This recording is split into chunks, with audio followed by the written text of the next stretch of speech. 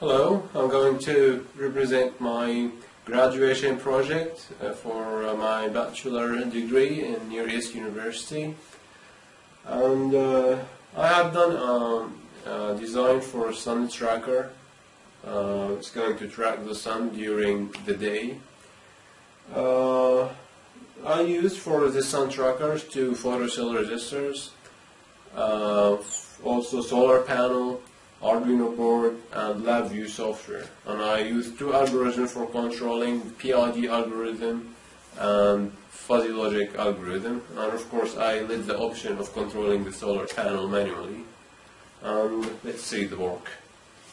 Well, this is my prototype. You can see here I have uh, the light sensors. I have two light sensors. This is the uh, solar panel and Arduino which is connected to computer where I have the LabVIEW software. And this is my software, as you can see.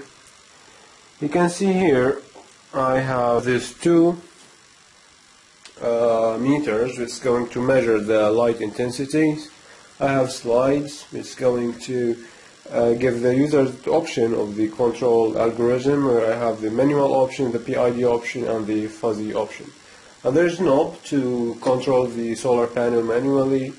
Um, this is showing the angle of the uh, or the position of the uh, solar panel and there also the, the current time of the system.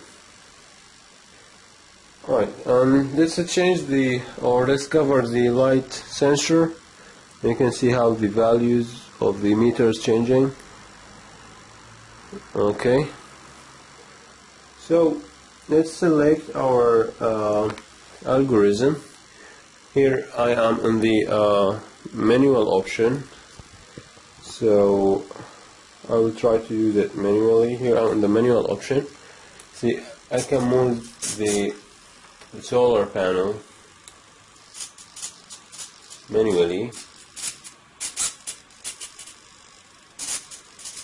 Well, if I go to the PID option, just go to where the light is uh, equals on both sides. Maybe I can try flashlight here. Okay. Here is the flashlight and you can see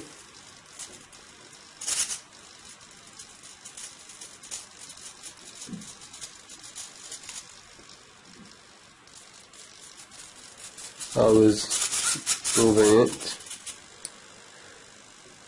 And also I have the uh, fuzzy option where I can move to the fuzzy option where the fuzzy will move within a small range uh, corresponding to the current time of the system.